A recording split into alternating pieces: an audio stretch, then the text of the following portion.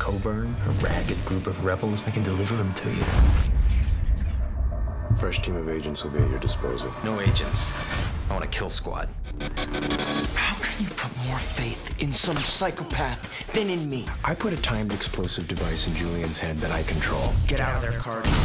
Ultra knows where we are. They're coming. If you don't bring Cara and her friends in,